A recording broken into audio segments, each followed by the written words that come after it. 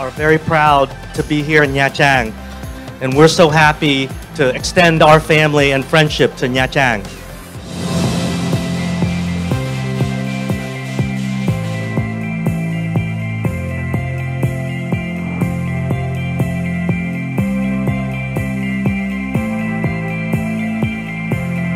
À, hôm nay tham dự ở McDonald's Nha Trang thì không khí rất là hoành tráng, hoành tráng hơn ở cả ở Hồ Chí Minh mà mình đã từng tham dự không khí rất là sôi động. Khách hàng đứng xếp hàng rất là đông từ sớm.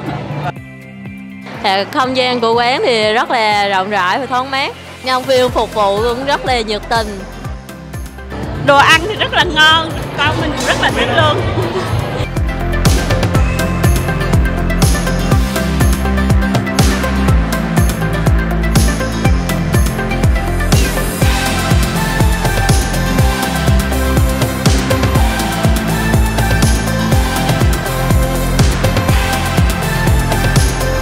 Em rất là vui và rất là hào hứng bởi vì em đã biết McDonald từ rất là lâu rồi và rất là mong McDonald tới Nha Trang.